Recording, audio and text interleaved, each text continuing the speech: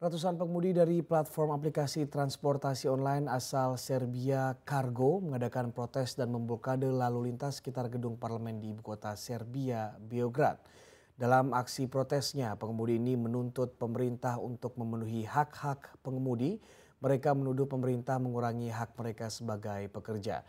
Sementara itu, Kementerian Transportasi Serbia mengatakan kargo harus menyesuaikan bisnis mereka di Serbia Undang-Undang Transportasi Serbia menetapkan hanya pengemudi profesional yang dapat mengoperasikan transportasi umum di Serbia.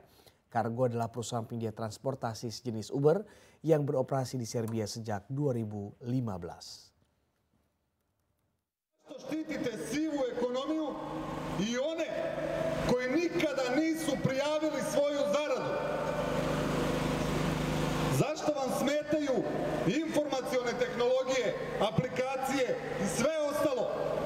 Jimmy